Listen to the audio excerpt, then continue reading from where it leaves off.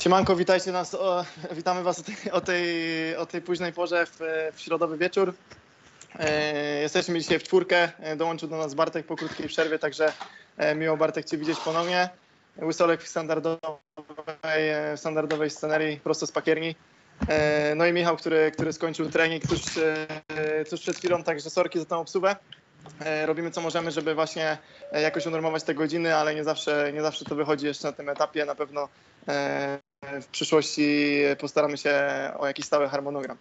Tak czy siak, przechodząc już do meritum, e, mamy już pierwszego widza. Dobry wieczór, e, Janek. E, Dzięki, Witamy, że wrzuciłeś to, dzięki, że wrzuciłeś to wideo promujące nasz program. Mega, mega nam się spodobało, także, także dzięki za to. Słuchajcie, przechodząc do, do, do tematu Igrzysk Olimpijskich, które właśnie trwają, poznaliśmy dzisiaj półfinalistów. To są cztery pary, które, e, które można powiedzieć e, powalczą o medale. Trzech z nich, może- trzy, trzy z nich nie są w ogóle zaskoczeniem dla nas. Jedna, jedna jest. Jest to para łotewska, która przebojem wdarła się do, e, do tej finałowej czwórki, pokonując dwie pary brazylijskie. Rozmawialiśmy tutaj przed wejściem, że, że tych meczów nocnych w zasadzie za bardzo nie oglądaliśmy, jedynie skróty. Wiemy na pewno więcej na temat meczów popołudniowych, które dzisiaj się rozgrywały o 14 i 15. E, No ale sam fakt e, możemy skomentować e, właśnie odnośnie tej, tej całej czwórki. E, Może zacznijmy od tego, że to, jak pisałem wcześniej na grupie facebookowej, pierwsze igrzyska, na których nie zobaczymy e, Brazylijczyków w top 4 od 96 roku. W momencie miałem jakieś problemy z internetem i troszkę mnie tutaj urywało. A, no to Bartek jak słyszał, a ty, ty za chwilę nadrobisz. Dobra. To ja generalnie powiem szczerze, że tych dwóch, w sensie nie oglądałem jak e, jeszcze meczu Plawinsa Doksa, najpierw jak wygrali z jednymi Brazylijczykami, a później z drugimi, ale to co ty pisałeś Marcin, jak tak chwilę o tym rozmawialiśmy, że Łotysze no generalnie strasznie dużo bronili i chyba to jest ich klucz do, do zwycięstwa, więc e, więc to taka fajnie, że para, no może nie, że znikąd, ale generalnie goście, którzy e, ile, półtorej dwa lata temu sobie zapewnili awans w tym Tak, najwcześniej chyba ze wszystkich e, po Mistrzostwach Świata. No właśnie, a później nie wiem, czy znaczy nie wiem, czy nie jestem w błędzie, bo aż tak dokładnie tego nie śledziłem, gdzieś tam widzieli na tych World Tourach i gdzieś tam wysoko przynajmniej. No i sprawili na, na pewno największą niespodziankę mm, przechodząc do czwórki i grając o medale. Tak, oni też do końca nie są tacy, bo, bo Martin Splavins e, w 2012 roku zdobył, zdobył brązowy medal, ale faktycznie po tym, po tym czasie e, nie mieli jakichś spektakularnych sukcesów, czy na Mistrzostwach Świata, czy na Mistrzostwach Europy, z tego przynajmniej co, co się orientuję. I też te ostatnie miesiące, czy nawet lata w ich wykonaniu, poza tym turniejem kwalifikacyjnym w Chinach, gdzie zapewnili sobie awans na Igrzyska w 2019 roku, no nie, nie brylowali. A tu proszę, e, dwie pary e, brazylijskie, najpierw Bruno Evandro, cyk, dwa zerko, i dzisiaj, dzisiaj w nocy e, z Alisonem i Alvaro też 2-0. No można o tym, o tym meczu powiedzieć e, tyle, że, że ponoć o tej 9 czy 10 rano było około 40 stopni już i Alison tam oddychał rękawami, których nie miał. Łysy. Słyszysz nas? Tak, tak, już słyszę. E, no, ja jeszcze też nie miałem okazji oglądać tego meczu, natomiast e, z tego co słyszałem, no to, to Brazylijczycy e, sporo błędów, natomiast e, Łotysze e, może nie jakiś najwyższy poziom, no ale, ale bardzo regularne, no ale to wszystko może wynikać właśnie z tej, z tej temperatury, no, no w takich warunkach ciężko o, o grę na najwyższym poziomie. Tam raczej liczy się to, żeby nie popełniać zbyt dużo błędów i, i grać swoje, no i jak się okazało, e, może nie największy rozmiarów Łot- Łotysze poradzili sobie nieźle, no a taki Alison, który waży pewnie ze 105 albo 110 to minimum, no to, to ciężko takiemu e, e, bykowi biegać po piasku. No i też chyba w końcówce tam nie za bardzo, nie za bardzo pomógł swojemu partnerowi, bo przy 20-19 bodajże w drugim secie, kiedy to Łotysze już mieli nóż na gardle, bo e, Brazylijczycy wrócili z 20-17 wyniku, czy 20-16, doszli na 20-19 i przy, przy ataku Łotysza w aut Alison wpadł w siatkę. Kaszana. No czasami mi się Alison właśnie, mimo tego, że jest mistrzem świata, mistrzem olimpijskim, przyjmijmy to, to kojarzy mi się z takim czasami... No, na, pe- na gościem, który- techniki. Tak, gościem, który nie panuje do końca nad własnym ciałem. Miał po prostu kilka takich komicznych zagrań, które na pewno by się nadawały na highlights. Nie mówię już o tych igrzyskach, ale wcześniej. E, pamiętam akcję, o Jezu, to była akcja właśnie z Mistrzostw Świata 2015, gdzie zdobyli złoto i tam w finale e, miał meczową w górze, w tej breaku na przewagi grali i pamiętam, że prostego drapa wywalił chyba 4 metry w aut, nie? Jeszcze to możemy kiedyś odkopać i pokazać po prostu. To, to jest właśnie jedna z takich zagrań i tutaj mieliśmy, mieliśmy okazję zaobserwować drugie. No myślę, że Alvaro nie był tutaj dumny ze swojego partnera, ale, ale tak jak mówisz, to nie był jedyny błąd Alisona w tym meczu, z tego co, z tego, co słyszeliśmy. E, no tak, no tutaj też nie ma co się spodziewać, że zawodnik e, tej postury i takich parametrów nagle będzie grał jakąś nie wiadomo jak wybitnie techniczną siatkówkę. No, to jest wielki chłop, który ma dużo siły, no i jego zadaniem jest po prostu strzelanie po skosie, po ciasnym skosie i po ciaśniejszym skosie. No, silnie, czasu... silno, silnie, silnie i najsilniej, tak? Tak, a on od czasu do czasu jeszcze gra te swoje kosteczki. No, nie, nie jestem ich zwolennikiem, no przy, przy takiej sile rażenia, no to tak naprawdę wierzę z trzeciego, czwartego metra spokojnie, e, spokojnie w pole, więc no cóż, e, przejdź może do, do tych innych meczyków, no bo, bo tutaj ciekawa, e, ciekawe rzeczy się dzieją e, w kolejnym ćwierćfinale, czyli Katarczycy ogrywają, powiedziałbym, dosyć łatwo, dosyć łatwo Włochów, co prawda w drugim, se, w drugim secie na przewagi, no ale Katarczycy zaprezentowali się bardzo fajnie, no i i kurde, nie spodziewałem się, że będą w stanie wytrzymać, e, wytrzymać taki turniej i e, grali, grali całkiem nieźle, no bo sideout utrzymywali bardzo, bardzo mocno. E, no jak coś podbijali, to, to kończyli z drugiej strony Lupo bodajże dwa zagrania w siatkę, no i kilka najlepszych wyborów i, i po meczu nie mamy Włochów w turnieju. Ale wydaje mi się, że trochę to te wybory Lupo i to, że na przykład było też fajnie to pokazane, jak była jakaś e, kamera z, z tyłu generalnie boiska akurat na tą akcję. Jak chciał zagrać line, no to ten line był taki wysoki, bo, bo taką presję wydaje mi się ten e, tam skacze Sheriff, nie? jeżeli dobrze pamiętam, u Katarczyków, no to gościu taką presję wywierał blokiem, że ciężko mu było jakby to, co chciał Jedna też fajna była akcja później z powtórką, gdzie Lupo chciał zagrać, jakby miał blok na prostą, chciał zagrać takiego, no nie wiem, ni to kata, ni taki plas jakby zaraz za siatkę i jeszcze ten szerif będąc w powietrzu go jakby zmienił kierunek bloku i go zablokował, więc Dokładnie. widać, że, że ciężko tam miał. No to prawda. Tak, aczkolwiek powiem wam, że jestem pod wrażeniem właśnie jak Katarczycy jakby przechodzą trochę obok tego turnieju, jeśli chodzi o mental. Nie? Mam wrażenie, że cały czas czy to na World Tourze, czy, na, czy to na Igrzyskach to grają cały czas tak samo, nie ma ani chwili takiego zawahania, tak, że oni właśnie weszli do czwórki na Igrzyskach Olimpijskich i moim zdaniem nic sobie z tego nie robią. Ucieszyli się może trochę bardziej, chociaż zawsze są głośni, ale, ale mam wrażenie, że, że tutaj ta sfera mentalna jest u nich bardzo mocna i, i wcale nie są na, na przegranej pozycji w starciu z Krasilnikowem w półfinale. E, także tutaj też mega plus dla nich, że cały sezon praktycznie od tego marca, jak zaczęli grać, to prezentują równą formę. E, mega postęp zrobili w trakcie pandemii. Mm, to prawda. E, no i co, ten ostatni, tak? Czy, czy ile tych ćwierćfinałów zostało omówionych? No mieliśmy jeszcze teraz Krasilnikowa z, z kim? Stole Wiklerem. No właśnie, z Tole Wiklerem. Bartek oglądałeś? Oglądałem, no i nie wiem, czy ze mną zgodzicie i wyglądało to trochę tak, że pod koniec tego meczu to tak naprawdę najlepszym, od, nawet wcześniej niż od połowy drugiego seta, to najlepszym zawodnikiem na boisku był Wikler generalnie, ale Tole strasznie nie chciał pomóc w niczym tak naprawdę i jeszcze było to tak fajnie mm, pokazane, jak chyba wzięli czas przez stanie 15-12, wydaje mi się, Niemcy w drugim secie, jak przegrywali. Kolejną piłkę Tole przyjął tak, że Wikler mógł pójść na dwa i jakoś odciążyć e, Tolego w ataku i, i było 15-13 na zmianie stron. I później generalnie Rosjanie zagrywali tak, że y, albo do kreski, albo tutaj coś, y, albo z wyskoku, albo skrócili, że no raczej Tole z tego nie mógł wystawić na dwa i nie mógł rzucić piłki do Wicklera i no i się posypała trochę, trochę, trochę side-out no generalnie Tolego i no i, i tyle. Tak, no ja, ja, akurat w tym meczu byłem trochę ciekaw, jak, jak właśnie Niemcy poradzą i moim zdaniem właśnie Wickler Wickler mega fajnie zagrał. Ogólnie jest jednym chyba z naj...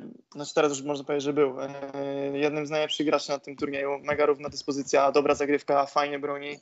Side out na mega wysokim poziomie, także same propsy dla niego. No, tak mówisz, no Tole trochę taki też e, jeszcze tro, mm, trochę moim zdaniem nieokrzesany przede wszystkim w obronie w takich sy- sytuacyjnych piłkach, które trzeba w, w tych newralgicznych momentach e, dobrze wystawić, czy, czy dobrze podbić i, i postawić ją do góry. On jeszcze tego e, do końca nie robi.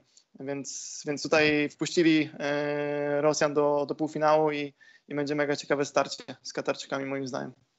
No właśnie, no bo nawet przecież jak y, tak sobie teraz przypominam y, a propos obrony, jak Wickler bronił Stojanowskiego przecież parę razy, gdzie to były takie konkretne ciosy, no i jakoś mu się udawało tak seriami je podbijać, no ale, ale to nic nie dało i no ciekawe, a wy jak myślicie a propos tego półfinału, kto będzie górą? Mi się wydaje, że Katarczycy. Po tym, co dzisiaj widziałem, to stawiam na Katarczy- Katarczyków. No moim zdaniem jak utrzymają mental, to jeżeli nie przerośnie ich sprawa, że, że grają już, już o medale, to, to ja bym stawiał 60 na 4, do 40 na, na Katar. Także ten mecz, oni chyba już jutro grają, nie? Czy nie? Tak, jutro, jutro o 15, a drugi półfinał o 14. No, no to, to dobre godziny na oglądanie. E, także mm, będą mega ciekawe pojedynki, a zapomnieliśmy wspomnieć o, o jednym, że Mol z wzięli rewanż na, e, na Leszukowie i, i Semenowie za ten pojedynek grupowy, który przegrali 0 do 2. Teraz e, grali w nocy czasu polskiego i, i 2-0 właśnie w drugą stronę, w stronę Norwegów.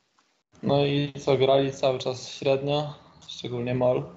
Nie radził sobie za bardzo i co, są w półfinale i mają Łotyszy. No, no już chyba lepszej drogi do złota nie będzie. Chociaż No. e, jak już zaskoczyli dwa razy, to, to może i trzeci. To się okaże. Tak sobie właśnie No. teraz przypomniałem naszą rozmowę jeszcze sprzed igrzysk, e, że jak rozmawialiśmy o tym, a, a propos przygotowania fizycznego i tego, kto się przygotowuje, kto nie, jak rozmawialiśmy właśnie o, o molu, ale też rozmawialiśmy o Katarczykach, w sumie jakby patrzę, jakie dwa różne zupełnie, e, jakie dwie różne historie, że no, no tak jak mówicie, Norwegowie grali słabo, a Katarczycy generalnie prezentują jakiś stabilny poziom przed i jakby to rozmawialiśmy co prawda w perspektywie Polaków bardziej, no ale, ale jedno jakby i drugie zdało egzamin summa summarum. Tak, e, zgadzam się i tutaj mam jeszcze, jeszcze wiadomość na czacie dotyczącą tego finału, e, że finał to będzie powtórka z całego tego sezonu, czyli wikingowe, wikingowie versus e, Katarczycy. No, wielce prawdopodobne na ten moment. Jest spora szansa. No właśnie kurde, ja bym powiedział, że, że wydaje mi się, że jednak Rosjanie w tym drugim półfinale mogą bardziej powalczyć, bo wydaje mi się, że Krasilnikow jednak ma trochę, w sensie ma ba- bardziej taki styl strzału niż jakby takiej kombinacji niż Lupo, a tam widać było no, przewyższenie blokiem straszne dzisiaj. A, a jednak Krasilnikow coś tam no, w- ataku gra chłopak, więc wydaje mi się, że, że jednak mogą mieć ciężko, żeby z nimi wygrać. Panowie, nie wiem, czy zwróciliście uwagę, dla mnie zawsze obraz Rosjan, siatkarzy rosyjskich był taki, że, że są raczej, raczej cisi, e, nie, bardzo się nie, nie emocjonują tym, co się dzieje, a, a im częściej oglądam teraz Krasilnikowa i, i Stojanowskiego, to naprawdę są bardzo ekspresyjni. Tak, Olek, jak się ucieszy czasami, to aż ten pusty stadion cały grzmi. Także jestem ciekaw, kiedy ta zmiana zaszła, bo, bo nawet na Mistrzostwach Świata tych, które wygrali, jeszcze chyba ta, aż tak się nie zachowywali, więc nie wiem, czy, czy pracowali nad tym, żeby, żeby bardziej celebrować, że to ich nakręca? Wydaje mi się, że, że trochę może tak być. No myślę, że to jest zawsze sprawa indywidualna, no ale rzeczywiście na ogół ci Rosjanie byli raczej specyficzni, no i no zresztą Kraselnikow on nie ma jakichś korzeni innych, no bo nie wygląda jak typowi Rosjanie raczej. nie wiem. Bartek, ty jesteś taki podróżnik, możesz się trochę wypowiedzieć na ten temat. Z drugiej strony Rosja to prawie pół świata, także wiesz, no jak weźmiesz jednego z jednej strony Rosji, drugiego z drugiej, no to No to prawda. mogą się trochę różnić. E, Michał, e, widzę, że mamy trochę wiadomości na czacie, może jakaś interakcja. Interakcja ze mną chyba by się przydała, co? No właśnie, no to jest twoja brocha. Bo ktoś, ci- ktoś No tutaj bo doci- docina, że twój kupon był kijowy. Wy tutaj zaczynacie, miało być krótkie wprowadzenia, wy tutaj zawsze jakieś obszerne analizy, to człowiek się nawet nie może wtrącić. Ja Dobrze, chciałem tylko powiedzieć, że cieszę się, że są takie półfinały, bo wiem za kogo trzymać kciuki w każdym z nich i jestem zadowolony z takiego układu. To za kogo trzymasz kciuki? No za Łotyszy, a w drugim za Katarczyków, no i proste. Bo tak obstawiłeś, tak, na kuponie? tak, dokładnie, więc wiecie co obstawić, wystarczy obstawić odwrotnie. A wracając do kuponu, to ja panowie cały czas czekam jeszcze na zwroty od was. Zwrot. No. Tutaj byłem podpuszczony, że mam postawić i się skończyło. Nie wiem, czy Bartek był w to zamieszany, ale łysy na pewno ci wisi. Ja mu rączki. Tutaj e, panowie mamy jeszcze jeden komentarz. Zachodzę tylko w głowę, gdzie w tym Senegalu Cherif łapał pierwsze szlify siatkarskie. E, czy to prawda, że właśnie on, jest, on pochodzi z Senegalu? Jeden z Wie, nich chyba wiecie tak. coś? Okej. Jeden z nich tak, a drugi chyba jest Brazylijczykiem, jeżeli się nie mylę, nie? Czy to też był jakby taki napływowy Brazylijczyk? Kurde, no nie znam, nie znam ich historii. Jak, jak znacie ich historię, to dawajcie trochę więcej info na czacie, bo tak jak Bartek mówi, być może któryś z nich zmienił obywatelstwo, może i cała dwójka. E, Bo wcześniej jeszcze był, e, był aparat Jefferson Cherry i, i też słyszałem, że tam jeden z nich e, był napływowy, więc zobaczymy. Dajcie znać, jak wiecie coś. Znaczy mi się wydaje, że żaden z nich nie jest na pewno rodowitym Katarczykiem. Okej. Przynajmniej Gdzieś tam tak mi coś z kimś rozmawiałem, nie pamiętam z kim, ale znaczy ręki też sobie nie dam urwać, ale tak mi się wydaje, że żaden z nich raczej. Okay. Mamy, mamy info, że Jefferson był Brazylijczykiem. Wcześniej. Ja byłem Okej. przekonany właśnie, że to rodowici Katarczycy. To byłem w błędzie, jak zwykle. A nie, Pamiętacie- też, No, mów, mów, no. Dawaj, dawaj. To nie wiem, czy też widzieliście, dzisiaj zauważyliście taką różnicę a propos tego, co mówiliście, że rano było 40 stopni i tak dalej i generalnie jak ta temperatura przeszkadza bardziej w graniu, to było takie fajne zbliżenia przed tym meczem na jednych i na drugich i Włosi już byli generalnie, było widać, że są cali spoceni po ich koszulkach i, i po ich ciele, a było później zbliżenie też na Katarczyków i po nich to jakby nie, nie można było się spostrzec chyba za bardzo, gdzie są. Więc myślę, że to też jest ich plus generalnie do a propos przygotowania i tego, Mhm. jaką też prezentują tam. No, myślę, że, że z pewnością można to do jakichś tam mini przewag zaliczyć, ale, ale też nie, nie uważałbym, że to że tym wygrali, nie? bo też te mecze raczej były wieczorem rozgrywane, więc ten upał aż tak bardzo nie doskwiera. E, Bardziej się zastanawiam, chętnie bym obejrzał tę powtórkę tego meczu Alisona, czy faktycznie go tak odcięło, no bo kurczę, z tego co, z tego co wiemy, e, znaczy nigdy w Brazylii nie byłem, ale w trakcie ich lata ponoć jest tam mega gorąco i grają ten swój tour. Więc, więc też dziwię się, że, że, że mógł tak, że mógł go tak odciąć, chyba że, że wilgotność jest inna i faktycznie ten klimat klimatowy nierówny. Ale tego nie wiem. Dzisiaj kiedyś e, wspominałeś o tym, że ten Krzysztof Gonciach robi te filmiki dla Eurosportu też podczas, e, podczas igrzysk i właśnie też dzisiaj oglądałem i mówił o tym, że e, generalnie sierpień, no przełom lipca i sierpnia to jest najgorsza pogoda, jaka może być w całej Japonii. O Więc kurde. myślę, że to też może mieć znaczenie, a no jednak jest tam to, odbiera się to trochę inaczej. Więc myślę, że, że pewnie jakiś to wpływ tam ma. Michał, co tam na czacie, bo widzę, że wiadomości spływają. No na czacie mamy info odnośnie Katarczyków, że, że jest to para eksportowa. Katarczycy pokusili chłopaków tak samo jak Katarczyków. To akurat znany case z chłopakami Tak. w piłce ręcznej. E, Ahmed jest Gambijczykiem. E, No i tyle. Więc mamy tutaj dokładny research zrobiony przez widzów. Okej, okej. No, czyli panowie dotlenić takie cielsko jak to Alisona to nie jest prosta rzecz. Chłop miał prawo zjechać kondycyjnie, tym bardziej, że w pierwszej młodości nie jest. No to, to prawda, on chyba jest 8-6 rocznik, więc 35 na karku. Trochę, trochę już jest. Łysy mówiłeś, że oceniasz ile kilo? Ponad stówka? Ze, ze 110 pewnie. No, no zgadzamy się, zgadzamy się z yy, właśnie, jak to przeczytać? Cramingo dos Santos. Yy, pozdrawiamy serdecznie, dzięki za te wszystkie, za te wszystkie informacje. Yy, panowie, ja mam jeszcze jedno przemyślenie odnośnie, odnośnie tych, yy, tych par półfinałowych. W zasadzie można powiedzieć, że pary, które wcześniej sobie zapewniły awans, mamy tutaj parę Molsorum, mamy Łotyszy, których trochę mm, z których się trochę śmieliśmy, że najwcześniej awansowali, bo już w 2019 roku. Mamy Krasilnikowa, którzy mieli bezpośredni awans jako mistrzowie świata. No i ewentualnie Katarczyków do tej grupy bym nie zaliczył. No to trzy z czterech par miały awans bardzo, bardzo wczesny. Myślicie, że to miało wpływ na, na przygotowanie pod, pod tą imprezę? No, Że od dwóch lat się nastawiali na, na ten jeden występ, chociażby mówią o Łotyszach? No akurat myślę, że w przypadku Łotyszy, no to e, nie byłem tego taki pewny. No, tutaj dwa mecze po prostu bardzo dobrze im wyszły. Trafili, trafili dzisiaj na e, słabszą, słabszą dyspozycję Brazylijczyków, no i no może troszkę szczęścia, oczywiście no, trzeba było grać swoje.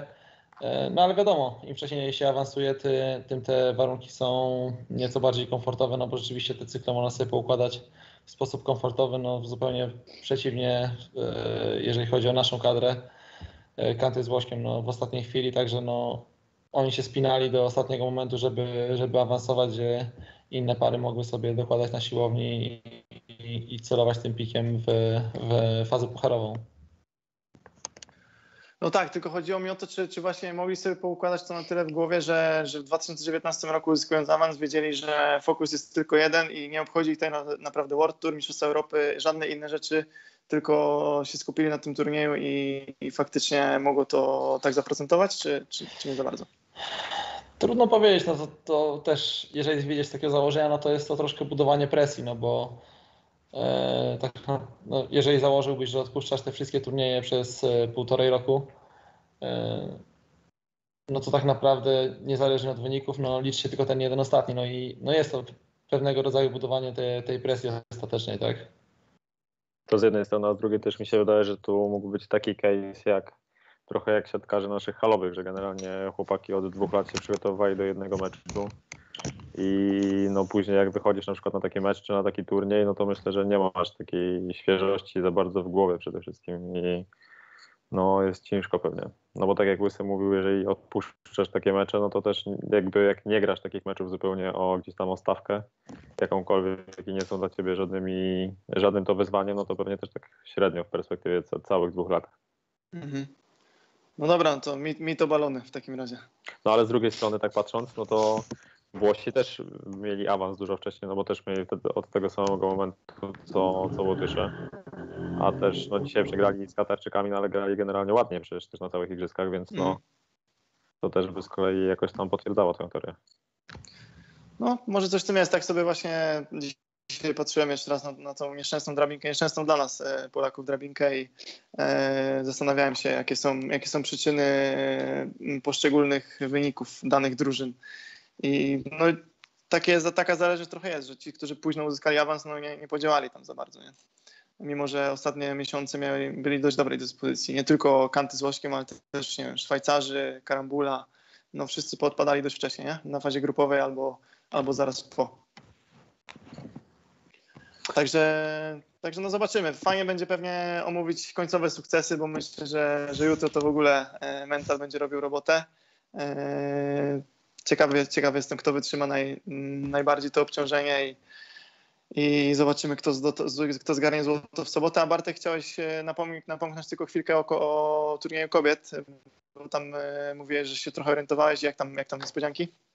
Znaczy ja oglądałem jeden mecz też, ten ćwierćfinałowy, o którym wam mówiłem, czyli Australii z Kanadyjka, Kanadyjkami, dobrze powiedziałem, nie? Kanadyjkami, e, czyli aktualnymi mistrzyniami, Euro, mistrzyniami świata i brązowymi medalistkami Mistrzostw Świata, no i tam poziom rzeczywiście był e, ekstra. Wyglądało to tak, że Australijki wygrały pierwszego seta, później w drugim już dosyć mocno przegrywały i, e, i mimo wszystko przegrywały chyba 12-7, jeżeli się nie mylę.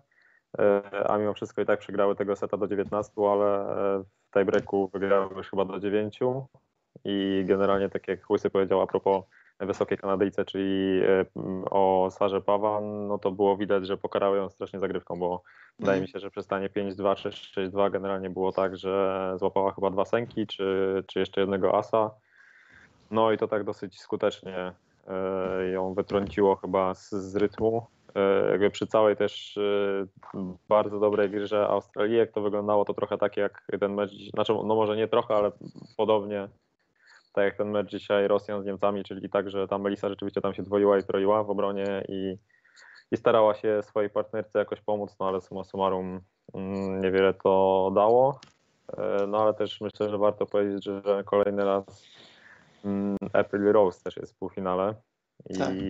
jeżeli się nie mylę, to ma już dwa medale Igrzysk Olimpijskich. No i dwa srebrne. Kolejny, zaraz Dwa, e, dwa, dwa, srebrne z tego, co, z tego co pamiętam, albo srebro i brąz. E, tak, Wydaje mi się, ten... się chyba z, nie łączą z Australikami, tylko też e, z kimś innym. Jeżeli e, się nie mylę, to teraz szybko sprawdzę, także Marcin mów śmiało. Spokojnie, tylko... się łączą. Aha. Amerykanki. Szwajcarki, przypominam, mistrzowie, mistrzynia Europy. E, para z Łotwy, e, mistrzynia Europy sprzed dwóch lat z kolei, więc tutaj mamy też mocną reprezentację europejską. Co ciekawe, Łotwa mały kraj, ale też, e, też warto zauważyć, że zarówno u kobiet, jak i u mężczyzn para w czwórce z realnymi szansami na, na medal, przynajmniej u kobiet.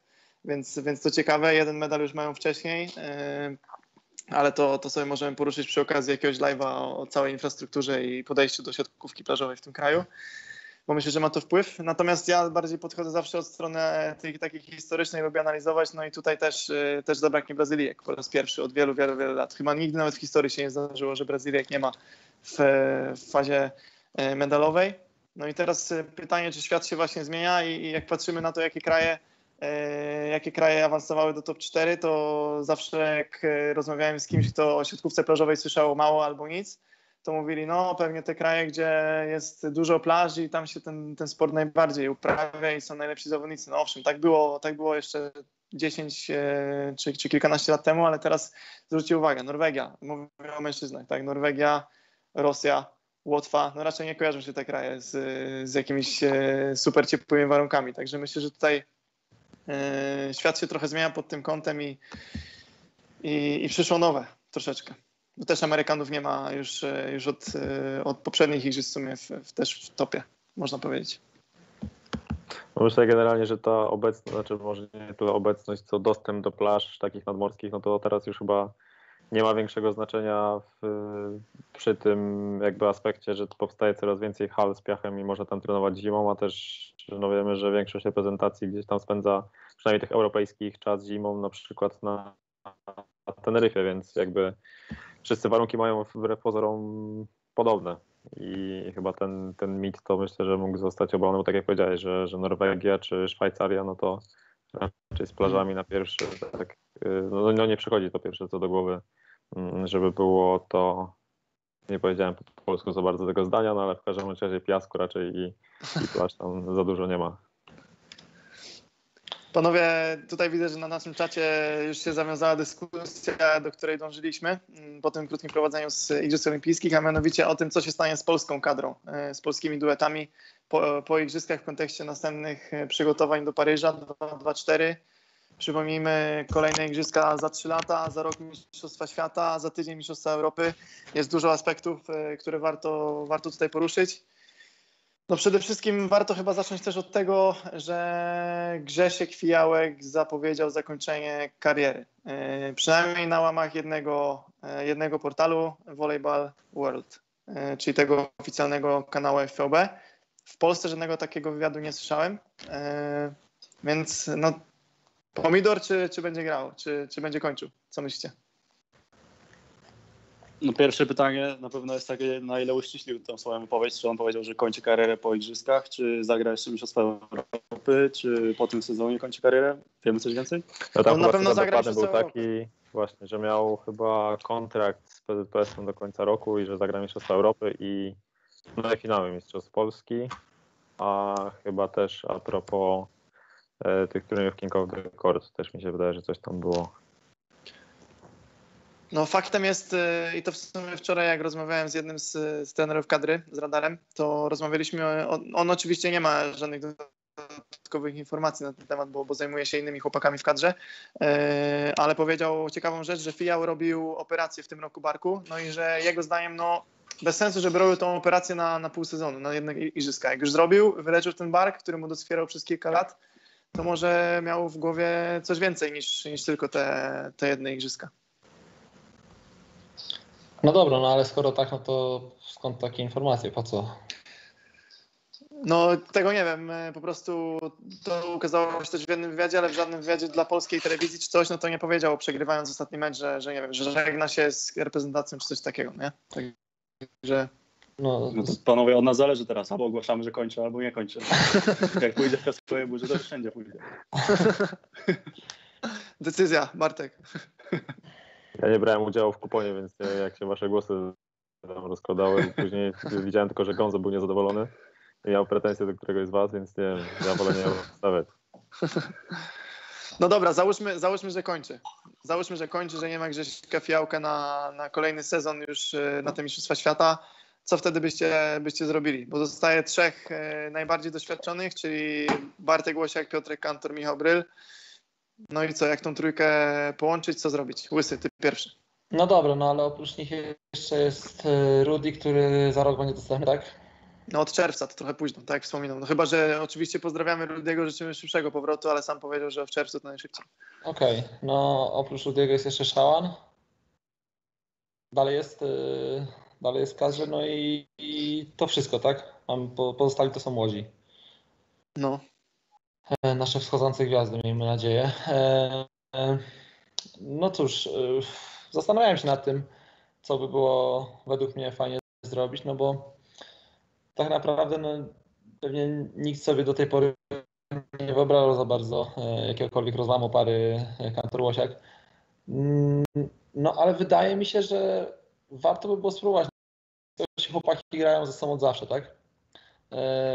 Jak Łosiek miał kontuzję bodajże, leczył się w zeszłym sezonie, czy dwa sezony temu, no to Kanty grał yy, z młodszymi zawodnikami.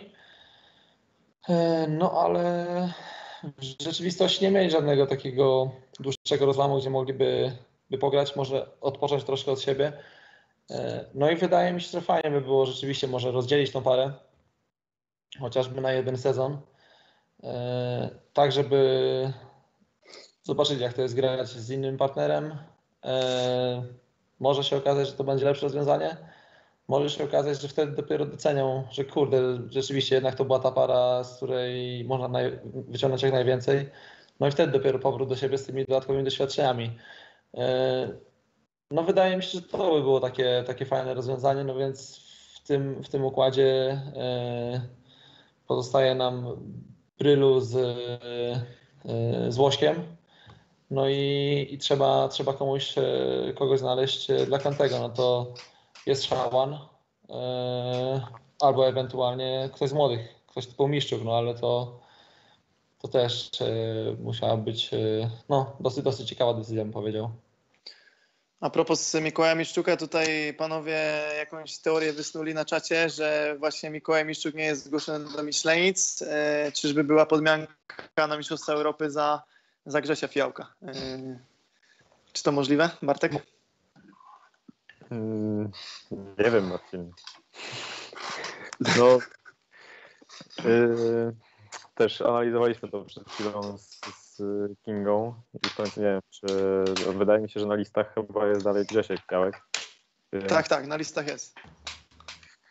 Więc ciężko powiedzieć w sumie. No jeżeli też Grzesiek mówił o tym, że ta kontuzja która w sensie no ta operacja jakby może nie to, że niewiele dała, ale że dalej czuje e, ten bark, no to, to może rzeczywiście na taki krok się zdecydowali, żeby teraz po prostu odpoczął i no, no słuchaj, Adi pisze do ciebie, że Bartek nie ściemnie mów jak jest, więc musisz... nie, nie wiem, no, jakby skąd miałbym wiedzieć, więc nie mam pojęcia. Jasne, no myślę, że to jeśli faktycznie tak, e, takie plany są, to pewnie się dowiemy w ciągu najbliższych kilku dni, bo, bo te listy startowe są ogłoszone, jak wiemy. E, też organizatorzy promują konkretne pary i pewnie będą chcieli znać co najmniej na, na kilka dni przed startem e, turnieju już pełne zestawienie, więc myślę, że to kwestia kilku, kilku dni, żeby to potwierdzić albo, albo obalić ten kolejny mit, no bo, który się pojawił. Przepraszam, Mistrzostwa Europy się zaczynają w, w środę. W środę? W środę. Tak. Więc w sumie za tydzień, e, za tydzień w środę już są, już są pierwsze mecze od rana. Też nie wiem, jak wygląda sprawa ewentualnej podmianki, ale pewnie, pewnie jakiś tam transfer medyczny można zrobić w przypadku Mistrzostw Europy. No z kimś ostatnio to rozmawiałem i wychodzi, to chyba z, z Rudim ostatnio o tym rozmawialiśmy, nie? że tam w tych imprezach mistrzowskich chyba możesz zrobić po prostu jeden do jednego, jakby bez mhm. problemu. Mhm. Nie wnikając w rankingi, o może tak bardziej. Mhm. No dobra, Bartek, zgodzisz się z Łysym, że, że dobrze by zrobiło Kantemu i Łośkowi, żeby ich e, na rok e, rozdzielić, a może i na dłużej, na, na ten rok 2022? Znaczy wydaje mi się, że tak jak na przykład y, w perspektywie tego, że dla wszystkich generalnie sportowców, którzy nie osiągnęli sukcesu na tych igrzyskach, takim największym pocieszeniem jest to, że za trzy lata będą te igrzyska w Paryżu.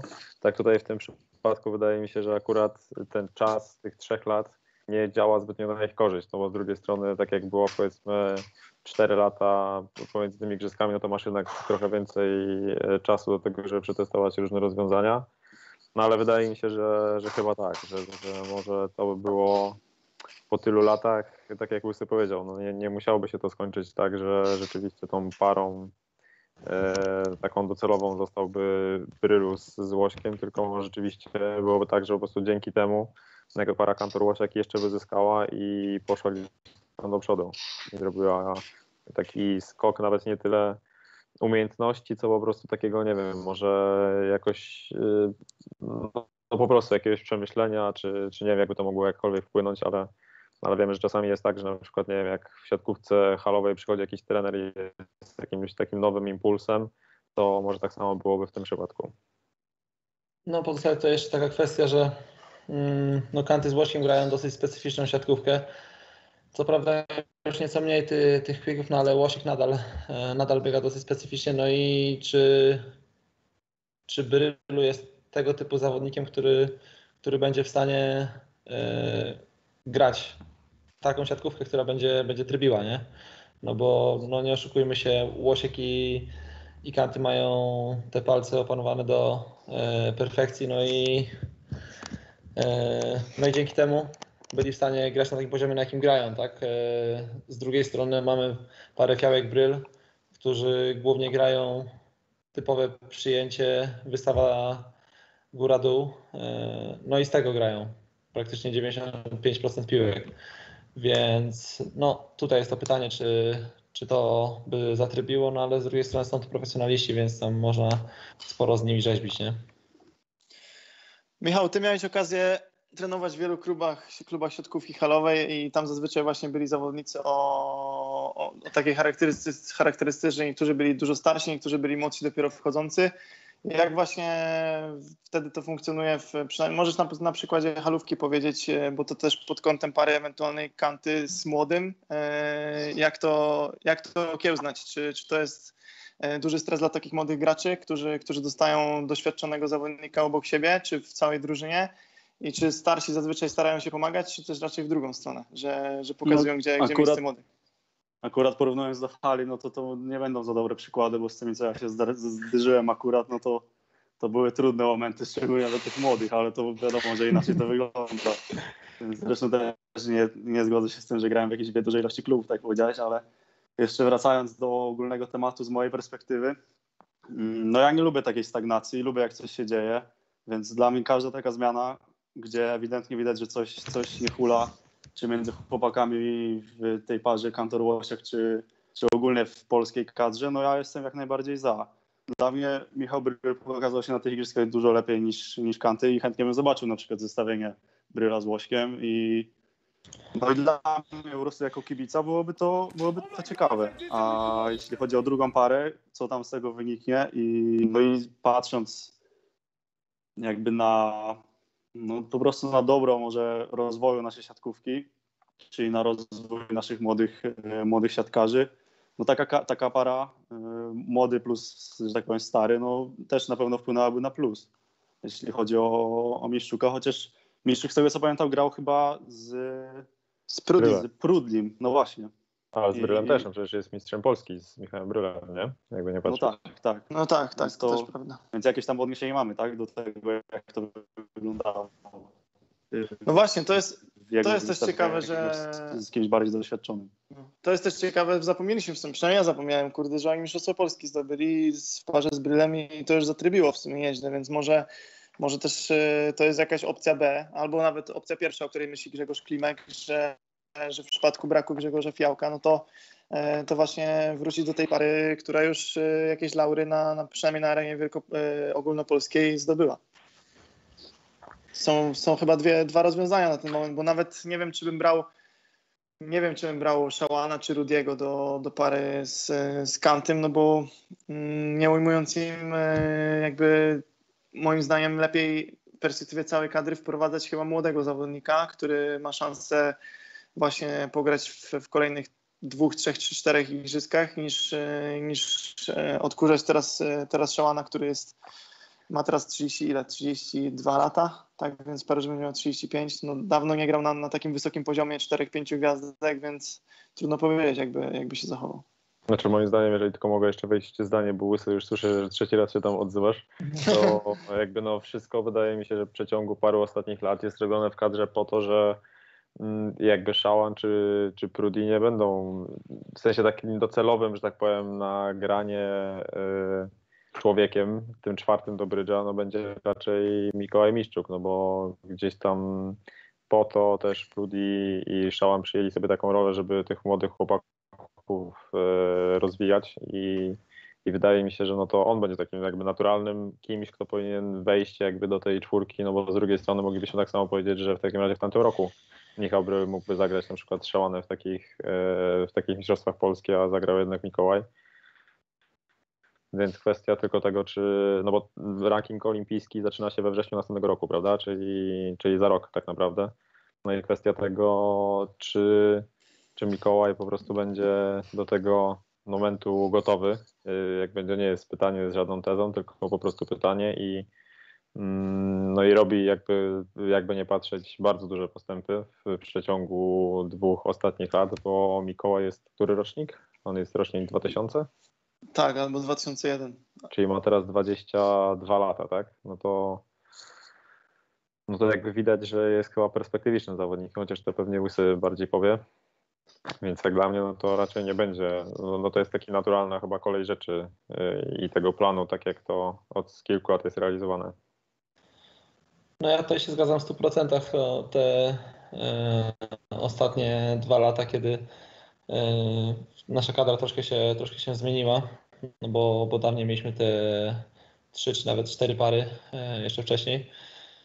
No aktualnie mamy dwie pary eksportowe, no i, i pozostali zawodnicy, ci, którzy może nie osiągali aż tak wybitnych rezultatów, jak to miało, jak to miało miejsce w przypadku tych dwóch par, no zostali, może brzydko mówiąc, no, użyci, no, ale tak w pozytywnym słowa tego znaczeniu, e, użyci do tego, żeby sprzedawać to doświadczenie dla młodych. Tak? I według mnie jest to bardzo fajny plan na to, jak, jak tutaj wyprodukować fajnych e, zawodników, no, z czym mieliśmy problem od dłuższego czasu, bo no, tak naprawdę no, to ta, ta cała kadra, no, Rudy Szawan, e, no i nasi olimpijczycy, no, już swoje lata mają, no i od tamtej pory przez dobre 10 lat nikt do kadry nie wszedł, tak? I nikt nawet nie, nie ocierał się o nią i nie był blisko.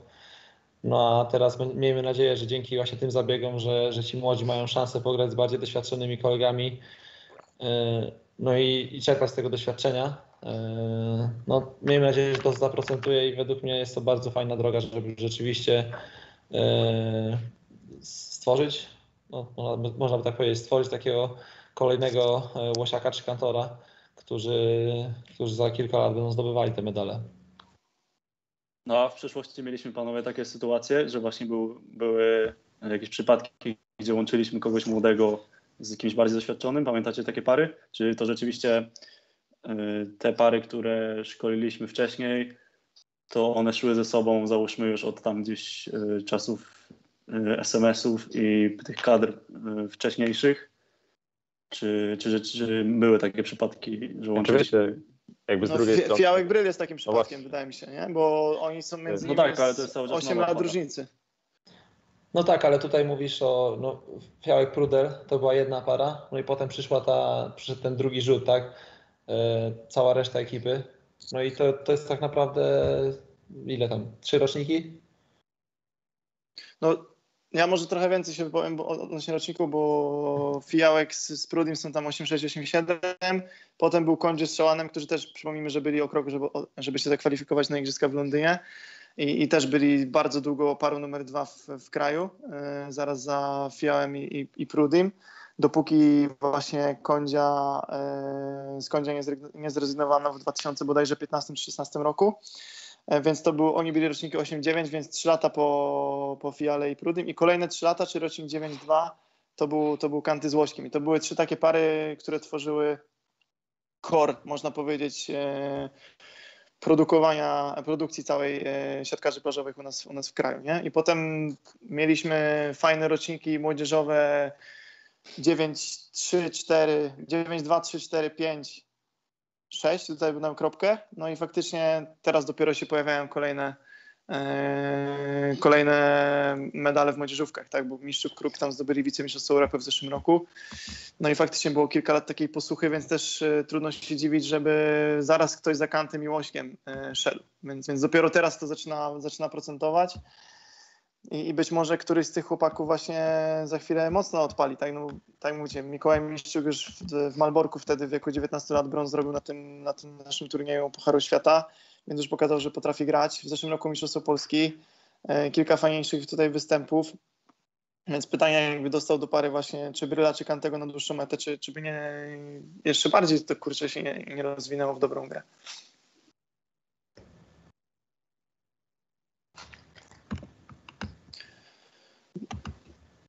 Teraz, no, tak pewnie no. będzie, bo z drugiej strony jakby taką, no jakby taką trzecią powiedzmy parą, no to wydaje się, że nie licząc jakby y, Prudiego i Szałana, no to jest jednak para Kruk-Miszczuk, więc mm, no jakby siłą rzeczy, jeżeli Mikołaj jest, jest broniący, no to pewnie tak, a, mm, a też y, no, to samo pokazuje to, że, że razem z Michałem Brylem E, zostali mistrzami Polski, więc wydaje mi się, że jakby tak na dłuższą metę pewnie jeszcze więcej mógłby Mikołaj z tego czerpać.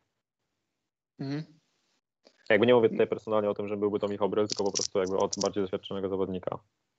No tak panowie sobie myślę teraz, że, że chętnie bym zobaczył różne konfiguracje tych, e, tych czterech, e, czterech zawodników w kolejnym sezonie. Też oczywiście to będzie mega trudne, bo są mistrzostwa świata, na których warto fajnie wypaść w, w Rzymie w, w lipcu też impreza, impreza robiona z pompą, więc tam na pewno będzie, będzie fajnie. No i kurczę, szkoda byłoby tam eksperymentować, ale myślę, że pierwsze kilka miesięcy może, może warto popróbować różnych rozwiązań, czyli łosiak, bryl, kantor, mistrzuk i odwrotnie. Yy, łosiak, yy, kantor zostawić i zobaczyć, jak bryl z miszczukiem podziałają.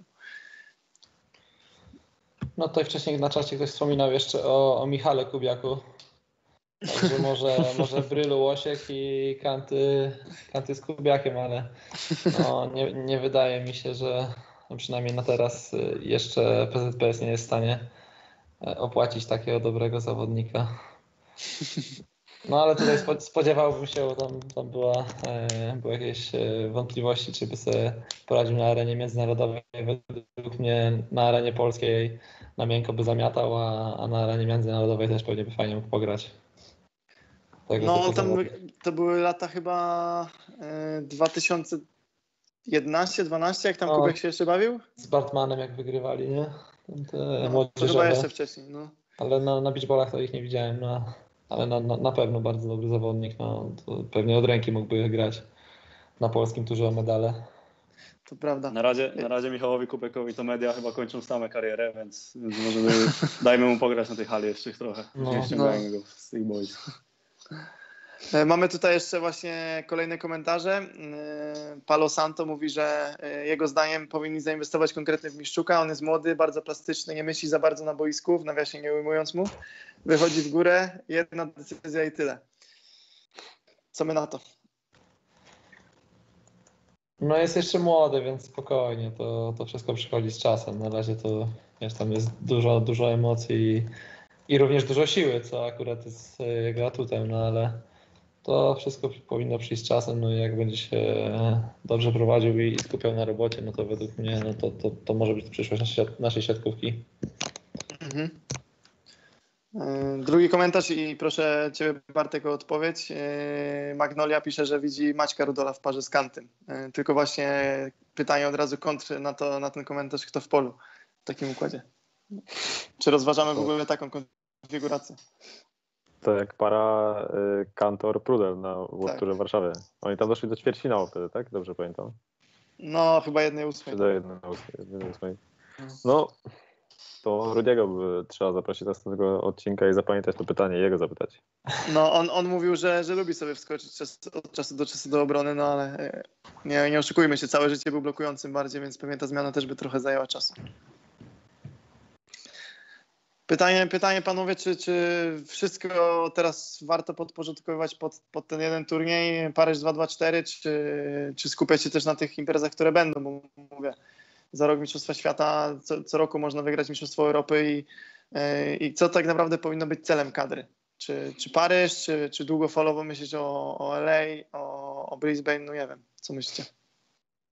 Czy na każde igrzyska powinniśmy mieć najmocniejszą reprezentację? Czy no jesteśmy tak. w ogóle w stanie?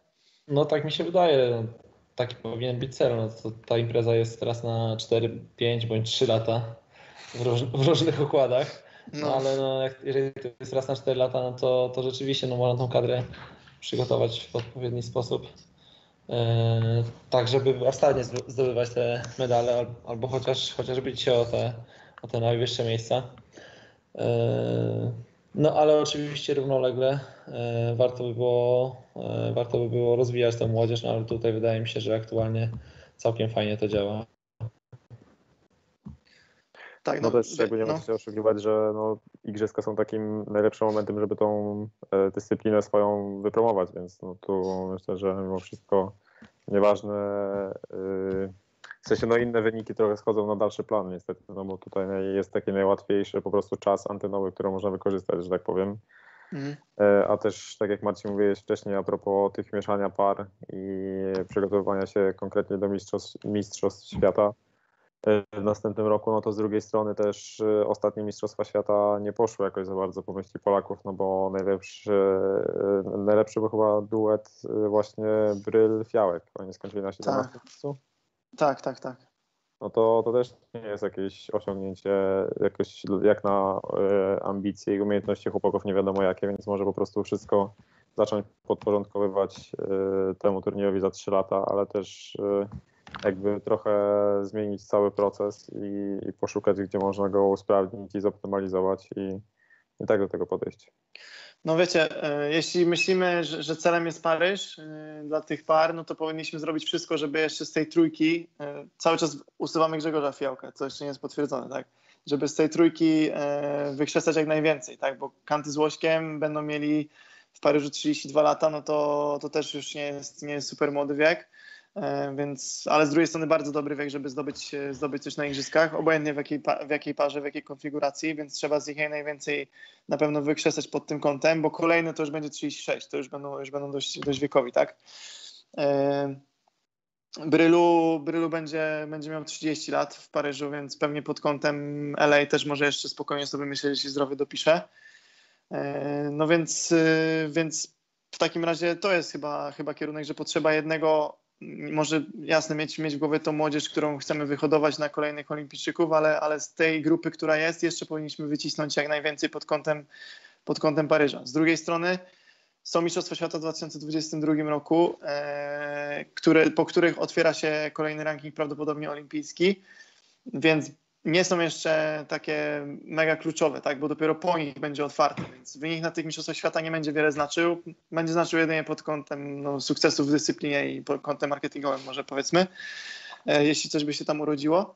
Natomiast według kalendarza FVB te mistrzostwa świata zaczną w latach nieparzystych, więc 2023 powinny być kolejne i tam już będą się zaliczały do rankingu olimpijskiego i tam już powinniśmy mieć pary wyklarowane, które będą reprezentować Polskę na, pod kątem Paryża, bo już ten ranking będzie się naliczał na konkretne duety, a nie pojedyncze. Więc wydaje mi się, ten rok jeszcze warto poświęcić na różne eksperymenty, nawet poświęcić te Mistrzostwa Świata, tak żeby w, w październiku 2022 usiąść i powiedzieć sobie, ok, to mamy dwie, dwa kolejne duety, które, e, które będziemy przygotowywać w cyklu dwuletnim pod kątem Paryża. Znaczy też z drugiej strony, no bo My tak mówimy o tych dwóch duetach, ale to teraz wyszło tak, że mamy dwa duety, a nie trzy tak trochę naturalnie, no bo ta trzecia polska para już nie bardzo jakby miała mm, pole do popisu, jeżeli chodzi o gonienie jednej, pierwszej i drugiej pary tak naprawdę, nie? Mm, tak mi się wydaje przynajmniej, stąd też jakieś różne decyzje zapadły. Więc jeżeli teraz jest nowy cykl olimpijski, no to może i trzecia para też, y, powiedzmy, nie wiem, jeżeli Rudy wróci do, do pełni zdrowia i Strzałane na przykład będą grać i, i wygrywać, nie wiem, z jedną i z drugą parą, no to to być może to będzie też to zestawienie, jakby tego też nie możemy pewnie wykluczyć. No tak, tylko że Bartek, nie wiem czy wiesz, ale właśnie odnośnie kadry, przynajmniej na teraz jest taki podział, że jest wyraźnie powiedziane, kadra A, kadra B kadra A ma swoich trenerów, kadra B ma swoich i kadra A zawsze jest przygotowywana pod największe imprezy, no nie? Więc też e, wydaje mi się, że tutaj akurat e, nie było powiedziane, że macie i walczcie, tylko zadaniem kadry B było wprowadzanie młodych i to wiemy, że tak jest, więc oni nawet, czy Rudy, czy Sean nie mieli, nie mieli szans nawet, wydaje mi się, że e, tak zawalczyć o te, o te igrzyska w pełni. E, oczywiście nie mówię, czy by, czy by wywalczyli ten awans, czy nie, to jest, to jest inna kwestia, ale po prostu było powiedziane, że oni mają się skupiać na, na jedno, dwugwiazdkowych turniejach, żeby tą młodzież, e, młodzież przygotowywać pod kątem dalszych startów i to, to był jasny podział. Być może Ale- coś się zmieni teraz, nie wiadomo. Ale nie było do pewnego momentu tak, że oni też jeździli, tak jak na przykład y, wygrali ten World Tour w Turcji bodajże. E, w, mówię tutaj o Rudim z Szałanem, e, bo wygrali ten World Tour w Turcji, tak dobrze, dobrze pamiętam, czy, czy nie? Tak, ale to było rok temu, dwa lata temu? Dwa lata Właśnie temu. nie jestem w stanie sobie przypomnieć, czy dwa, czy nawet trzy. Tak, jakiś bardziej- trzygwiazdkowy, dwugwiazdkowy, nie? Mhm. I myślisz, że to już było wtedy wiadomo, że oni nie mają żadnych szans na to, żeby pojechać na Igrzyska? W sensie, jakby bardziej mi chodzi o to, czy co wyniknęło z czego? Czy to, że jest kadra B wyniknęło z tego, że oni wiedzieli, że jakby już są dwie na tyle dobre pary, że, że raczej nie ma szans, żeby ich gdzieś tam y, prześcignąć, czy raczej po prostu od samego początku, powiedzmy od pięciu lat wstecz po Igrzyskach w Rio już było powiedziane, że są kadrą B i, i nie będą walczyli o awans? To musimy Radara zapytać, zaprosić do programu i zapytać, on będzie, będzie wiedział, jakie były konkretne decyzje, ale, ale na pewno wiem tyle, że podział był jasny i, i zadanie, zadanie obu kadr było zupełnie inne. Nie? Jedni mieli cel igrzyska, drugi mieli cel wprowadzać młodzież. I tak to wyglądało do teraz. Mówię, wczoraj widziałem się z Radarem, mówił, że nie wie, jakie będą decyzje jeszcze personalne, nie wie, czy sztab się jakkolwiek zmieni, czy ktoś odejdzie, zostanie. Mówił, że, że to jest na tyle świeża sprawa, że teraz y, jeszcze wciąż skupiają się na, na obecnym sezonie, bo, bo są te Mistrzostwa Europy. Potem Mistrzostwa Polski, w których, jak wiemy, pewnie kadra y, nieco niechętnie, ale będzie grać, jak to, jak to bywa. Y, no i, i potem zazwyczaj jest, jest jakaś weryfikacja tych sezonowych założeń e, celów, czy, czy udało się spełnić, czy nie i jakieś decyzje pewnie na kolejny cykl, e, tym razem trzyletni. Nie zapominajmy też, że, że prawdopodobnie będą też wybory na pre- prezesa PZPS, więc e, różnie może być, e, znając układy różne polityczne i tak dalej, kto zostanie, kto, e, kto wyleci, nie wiadomo. Czy, czy będą, będą całkowicie przewracać kadry do góry nogami. No właśnie pytanie tutaj, e, jeszcze jedno zasadnicze właściwie, bo gdybyśmy rozpatrywali takie sytuacje w siatkówce halowej, no to zachodzilibyśmy w głowę, kogo powołał trener. I ten trener byłby kluczową osobą, która decydowałaby o tym, kto jedzie, kto nie. Jak to wygląda w plażówce i kto tak naprawdę odpowiada za, za konfigurację tych par, które my teraz tutaj rozważamy.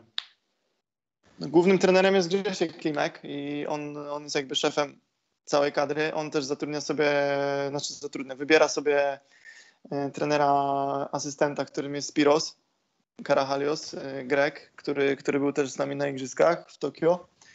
I oni tworzyli taki duet e, dwóch korowych trenerów. Mm, No i dalej jest Radar, który jest, jest trenerem kadry B. I on też był jakby mm, proponowany na to stanowisko przez Grzesia Klimka, więc, więc można powiedzieć, że Grzesiek Klimek jest, jest szefem i on będzie ze wszystkiego rozliczany i, i on też będzie decydował prawdopodobnie o składzie personalnym swojego sztabu na, na kolejne lata, o ile zostanie na swoim stanowisku, a to już, to już się okaże właśnie. No właśnie tutaj chciałbym poruszyć jeszcze ten temat, no bo e, od kiedy e, Klimek jest trenerem w kadrze? Od zawsze, od kiedy pamiętam.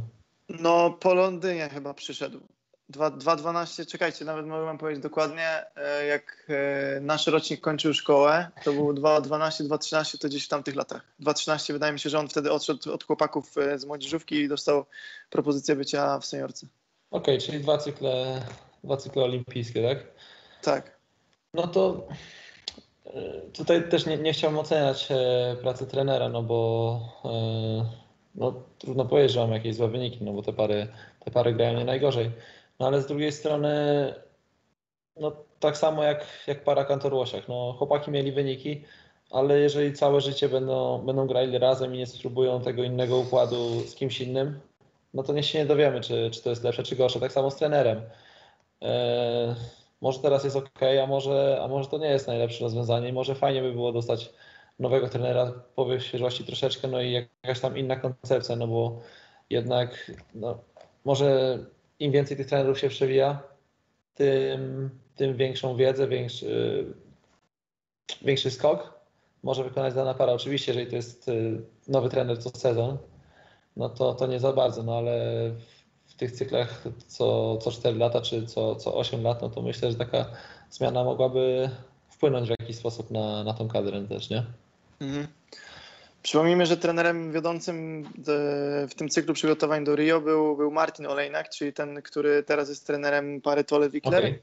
I po Rio Martin, którego Grzesiek jak był jakby uczniem, e, Martin odszedł do, do kadry Niemiec, a, a Grzesiek został jakby mianowany na, na głównego trenera polskiej kadry. I wtedy pamiętajmy, że lata 2.17, 18, no worek, worek medali, tam był parę kan, Kantor Łosiak, 2.19 z kolei Fiałek Bryl, więc jakby cały cykl patrząc poza Igrzyskami Olimpijskimi i imprezami docelowymi Mistrzostwami Europy i świata, no naprawdę na World Tourze kupę, kupę medali było przywiezione. Okej, okay, no to rzeczywiście, no to yy, no nie jest tak źle, skoro w przedostatnim cyklu no, mieliśmy innego pierwszego trenera i po prostu asystent teraz stał się pierwszym trenerem, no i, i doszedł drugi trener Spiros, no to, no to też nie, nie jest złe rozwiązanie, no bo w rzeczywistości no, mamy jakąś tam ciągłość, a ale no, przychodzi ta nowa wiedza, no wiadomo, że każdy trener y, no, jest lepszy bądź gorszy w, w jednych i innych y, elementach, no i, i może coś ciekawego wnieść, także no,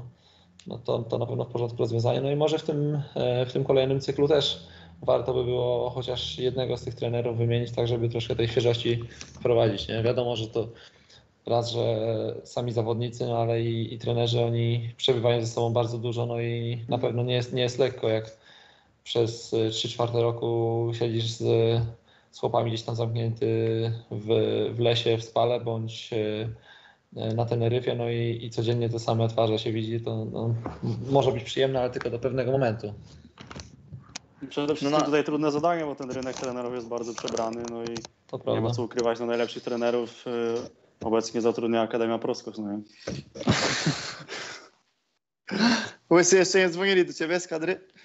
Jeszcze nie.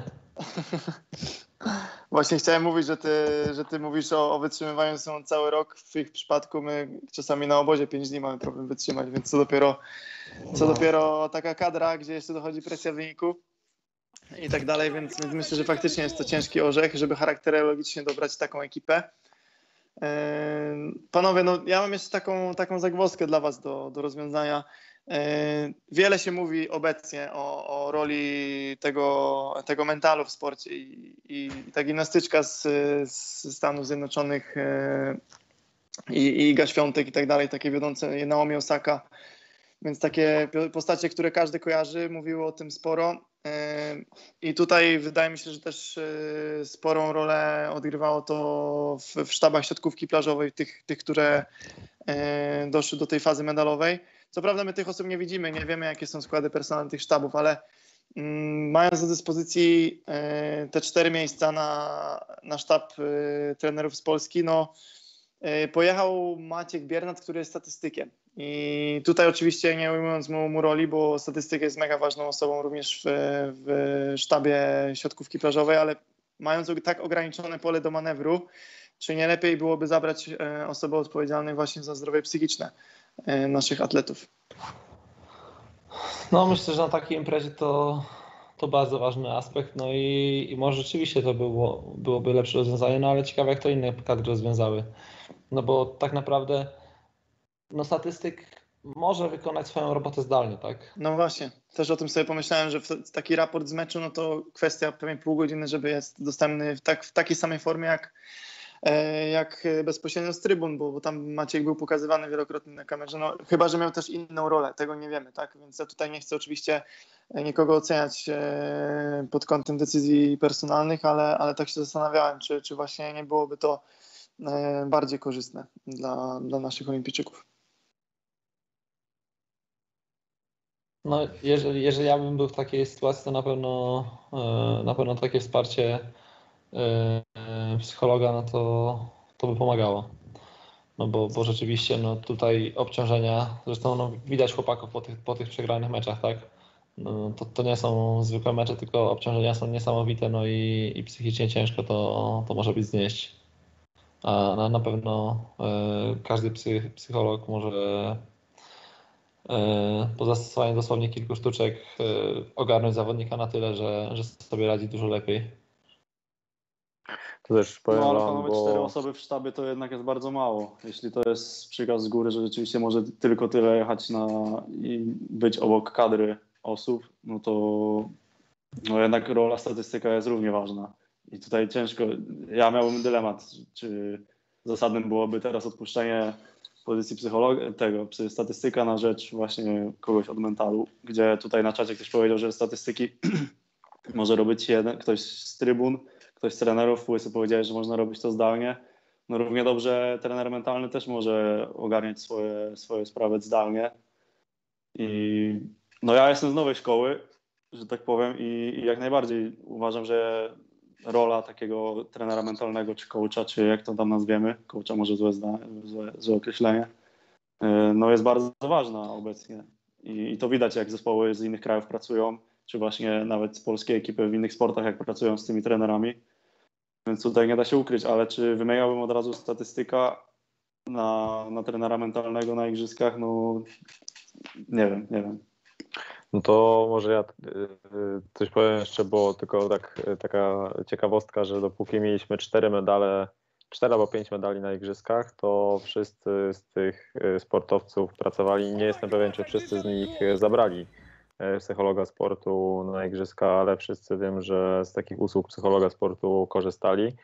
I wydaje mi się, że tak jakby zdalnie przez ekran to to jest jakby zupełnie coś innego, wiesz, mając spotkanie powiedzmy takie jak my mamy teraz, czy nie wiem, jakieś spotkanie biznesowe, a zupełnie jest czymś innym mówić o tym jakby o jakichś swoich emocjach i o tym jak się czujesz, a, a też jakby nie ma, wydaje mi się, że mając taką wioskę olimpijską, gdzie jesteś e, z tym partnerem swoim zazwyczaj pewnie gdzieś tam z boiska w pokoju, no to też nie masz takiego miejsca, gdzie możesz e, pewnie jakoś tak szczerze pogadać z taką osobą, a jak wyjdziesz sobie gdzieś tam na jakiś spacer czy coś, nie wiem, przynajmniej czy tak to się odbywa, tak zgaduję tylko, więc, więc też nie wiem.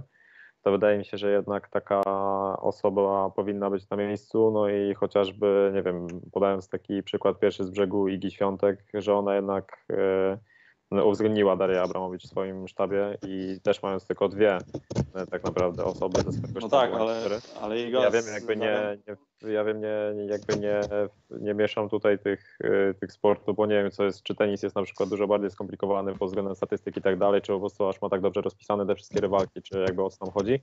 Natomiast no jakby mając, no dobra, okej, okay, powiedzmy, że te cztery osoby ze sztabu pracują połowę czasu na jedną parę, połowę czasu na drugą parę, to wydaje mi się, że mimo wszystko i tak e, aż cztery osoby w takim sztabie i jedno miejsce dla takiego psychologa sportu wydaje mi się, że powinno się jednak znaleźć. Tym bardziej, że mając jakby taką perspektywę, że nie jedziesz tam, jeżeli chłopaki pojechali trochę wcześniej i też byli w kwarantannie, siedzisz w hotelu, więc jakby jedziesz tam w perspektywie trzytygodniowej, a mm, jak pamiętacie, jak robiliśmy na przykład tutaj taki work tour w Malborku i nie było żadnej kwarantanny, a widzieliśmy się praktycznie cały czas, to później przez tydzień ze sobą nie gadaliśmy, bo po prostu mieliśmy przesyt i jakby musieliśmy też wszyscy od siebie jakoś tam trochę odpocząć, nie? Więc to też jest kwestia tego, że jakby nie dość, że jeździsz cały czas z tymi samymi twarzami i jakby pracujesz i 300 w roku się z nimi widzisz, to tutaj jeszcze masz przy tych wszystkich obostrzeniach tak, że nigdzie nie możesz wyjść, tylko i wyłącznie gdzieś tam, nie wiem, na stołówka i tak idziesz e, wszyscy razem, to wydaje mi się, że tak coś takiego powinno, e, taki psycholog sportu powinien po prostu się w kadrze znaleźć. No tak, tylko zauważ, że podajesz przykłady zespołów, czy, czy na przykład Ligi Świątek, gdzie ta współpraca z psychologiem trwa już od dawna i to jest jedna z bliższych osób w ich sztabie. I, i, ta, i oni pracują razem praktycznie na każdym treningu co tydzień, czy, czy nawet codziennie. Nie wiem, jak teraz wyglądała współpraca z psychologem, czy w ogóle był ktoś taki na przykład w naszej jest, kadrze I, i, i, na ile to było, ta współpraca była ścisła i zasadne byłoby zastąpienie y, osoby, na przykład statystyka w sztabie na, na igrzyska. Znaczy nie wiem, jak no, z tego, co... współpraca no, jest, ale psycholog sportu w kadrze jest y, i to wydaje mi się, że gdzieś tam też jeden z takich bardziej chyba znanych polskich psychologów sportu. E, a przynajmniej ja go znam, no bo może niewiele znam, może dlatego, e, ale też jakby nic mu nie ujmując, no jakby nie wiem, jak, jak wygląda ta współpraca w każdym razie, no psycholog sportu w kadrze obecny jest. No z, z, psychologiem jest, psychologiem jest Marcin Kochanowski, on wcześniej też współpracował z innymi kadrami w innych sportach i ja miałem to szczęście być na tych Mistrzostwach Świata 2017 E, w, sorry, 2.19 w Hamburgu e, i tam już e, long story short, ale, ale po prostu mieszkałem przez chwilę z, z chłopakami właśnie w tym hotelu ze sztabem i Marcin nie, nie to, że miał jakby jakieś terapie codziennie czy zajęcia z nimi, on po prostu tam był, nie? I po prostu starał się pewnie wprowadzać w miarę, w miarę atmosferę, dbał o to, żeby żeby każdy czuł się w miarę dobrze. Co prawda, no nie przełożyło się to w ogóle też tam na wynik, więc trudno tutaj, wiecie, e, snuć jakieś e, daleko idące wnioski, ale, ale przynajmniej tam ten sztab był trochę szerszy, bo mógł być szerszy. No i faktycznie na tej, na tej docelowej imprezie Marcin z nim był, ale z tego co kojarzę, no to nie wydaje mi się, żeby chłopaki mieli jakieś takie regularne teraz z nim zajęcia, czy przynajmniej czy mieli przed igrzyskami, no z tego co wiem, to chyba nie.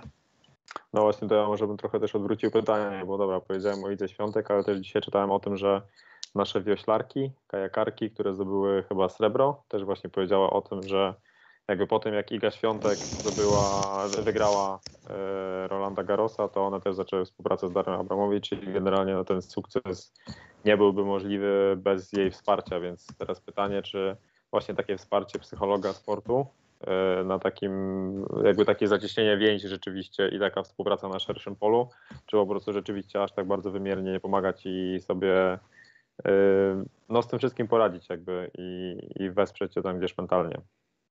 Nie, no to wydaje mi się, że bez dwóch zdań, no, rola psychologa sportu czy, czy tenera mentalnego obecnie w sporcie jest no, rzeczą jak dla mnie podstawową. I tutaj no nie możemy kwestionować e, tego, czy, czy warto inwestować w takie rzeczy, czy nie, czy warto współpracować, bo, bo to jest oczywiste, tak mi się wydaje. Tak jak tutaj mhm. napisali na czacie, że tak naprawdę każdy, kto występuje w takich warunkach, i tutaj ma na myśli publiczność czy, czy presję turnieju, powinien mieć swojego psychologa przydzielonego. I ja tutaj jak najbardziej z tym się zgadzam. Tylko no, taka rola adwokata diabła teraz mi przypadła, bo chodzi mi o po prostu porównanie tej sytuacji, kiedy mamy cztery osoby w sztabie zaledwie gdzie to jest dla mnie bardzo mało. Mhm. I tylko z tego wynikały tutaj jakieś moje wątpliwości, a co do samej roli czy współpracy z psychologami sportu, no to, to tutaj dla mnie odpowiedź jest oczywista. No właśnie widzisz, może tu jest ten problem bardziej niż w tym, że, że mamy tylko cztery osoby i czy warto taką osobę e, zabierać czy nie. E, I po prostu może ta, ta rola psychologa sportu powinna być w kadrze większa i jakby wtedy pewnie też nie byłoby takiego problemu, czy taką osobę zabierać czy nie. Tak.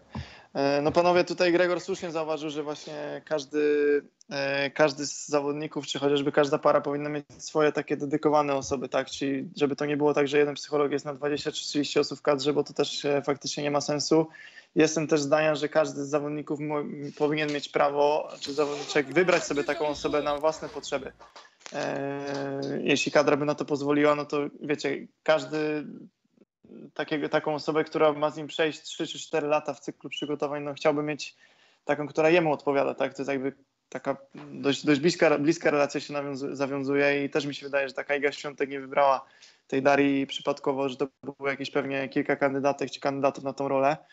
I, I, tak to powinno też być, bo z tego co pamiętam, to, to Kanty mi też wiele razy mówił, nie w kontekście Marcina Kochanowskiego czy innych członków sztabu, tylko że wiele, wiele rzeczy w kadrze jest tak narzucanych, tak, że ktoś na przykład przychodzi i nie, to nie jest konsultowany do końca z zawodnikami, czy, e, których jest wi wiadomo dość spora liczba, więc może taka większa swoboda w wyborze tego e, miałaby sens i, i przełożyłaby się też na, na większą chęć współpracy z psychologami sportu czy z innymi trenerami w, w kadrze, bo to też wiem, że, e, że w kuluarach się mówią, że to jest też duży problem, e, że nie każdy właśnie zdaje sobie tego sprawę jeszcze w kadrze naszej plażowej, że nie każdy po prostu chce.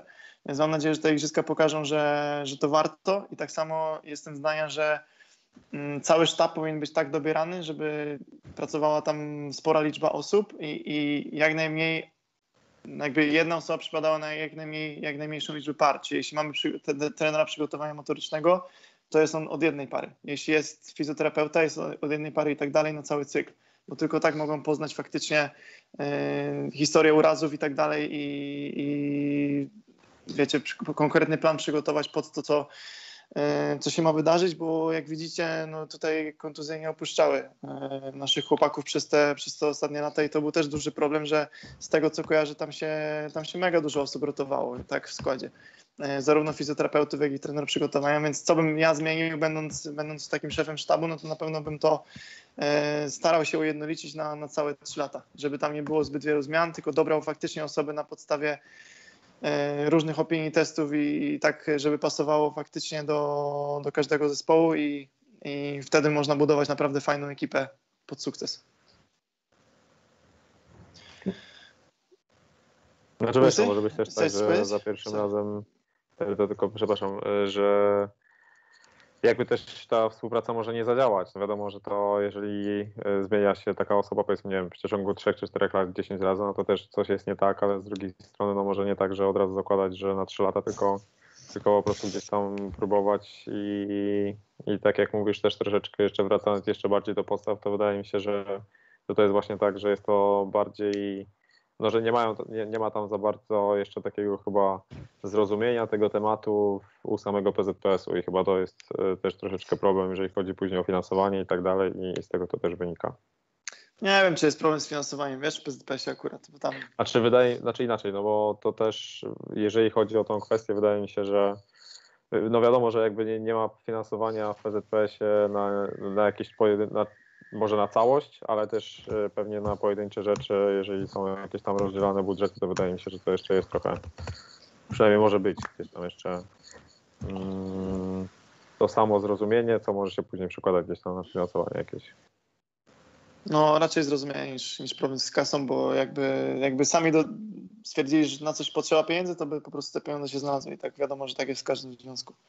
Łysy, dawaj, bo coś tu się wyrywasz. Wiem, że już napisałeś powoli do brzegu. Tak, już kończymy, już kończymy. Ostatnie, ostatnie eee, No mi się wydaje, że, że fizjo, no i fizjoterapeuta i trener przygotowania motorycznego, no fajnie było rzeczywiście, żeby mieć taką jedną osobę odpowiedzialną za jedną bądź dwie pary przez, przez dłuższy okres, e, żeby to nie było tak, jak to e, miało miejsce w kadrze, że no było kilku fizjoterapeutów i tak naprawdę ta odpowiedzialność potem się rozmywa i chłopaki chodzą wiecznie połamani, no co według mnie jest rzeczą niedopuszczalną, no bo to zadaniem trenera przygotowania motorycznego i ewentualnie fizjoterapeuty jako, e, jako osoby wspomagające jest to, żeby chłopaki mogli grać cały sezon bez większych urazów. Wiadomo, że no, nie jest, nie jest możliwe uniknięcie wszystkich urazów, no ale jeżeli oni są kontuzjowani co chwilę, no to coś było nie tak, no i, i może to tutaj trzeba szukać przyczyny, że rzeczywiście ta odpowiedzialność była bardzo rozmyta, no i, i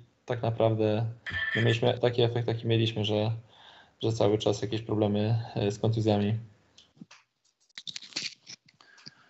E, pytanie jeszcze jest od Palo Santo. Ile osób w sztabie jest na hali na Igrzyskach Olimpijskich e, w sztabie siatkówki halowej. No tutaj pytanie do Ciebie właśnie, czy, czy mamy liczyć też tam Ryszarda Czarneckiego, czy nie, jako członka sztabu? Przecież pan Ryszard to obierze świat, także globetrotter. Także to jest, to jest zasadnicza kwestia, e, a tak poza tym to myślę, że patrząc po szerokiej, e, szerokiej liście liście osób, która była nominowana na, na te igrzyska w, w sztabie, to jest ich zdecydowanie więcej. Ale pewnie w grach zespołowych e, jest to, e, jest to, jest to dużo więcej niż, niż w siatkówce plażowej.